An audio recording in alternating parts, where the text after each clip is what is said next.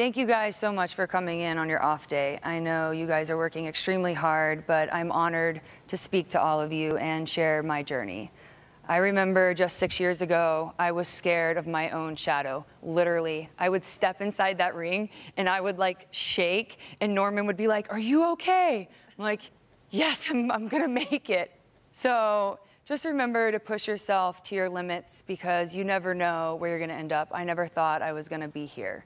So when I got to NXT, I utilized the facility, I utilized my coaches, and I leaned on my peers.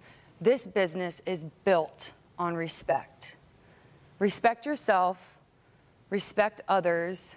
Don't let anyone walk all over you, but don't ever look down on someone because you never know when you're gonna need that hand. Now, ladies, WWE Evolution is this Sunday. um, I'm not going to cry because I do that all the time, but I feel that as if evolution happened because of what we built here in these very rings. Now I'm standing in front of you guys, and I can't wait to see what you guys build off of that. You guys are the present and the future, and I am honored to be standing in front of all of you, and I hope I get to face every single one of you eventually.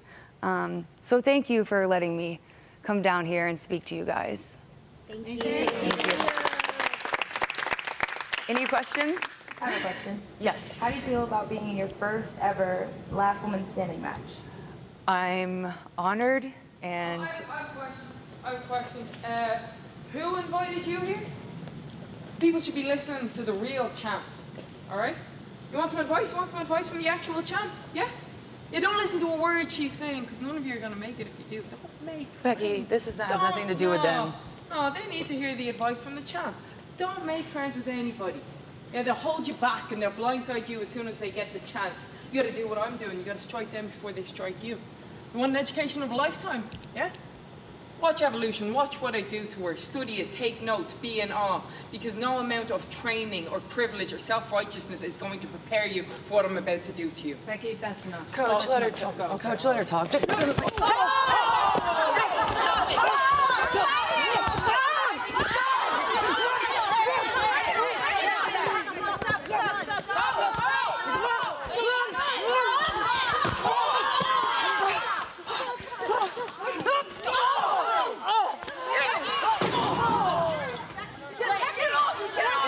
Retribution, Shannon, that's retribution. You're never getting that title. Who are you?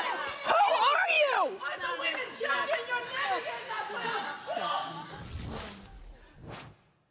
Becky, after all of the attacks, after all of the insults, what you did at the Performance Center was unforgivable.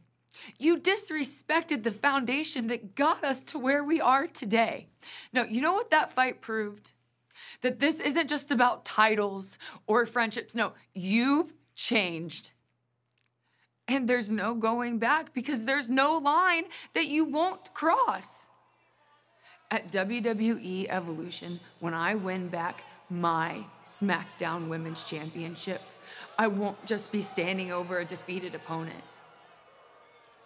I'll be standing over a friend who lost her way.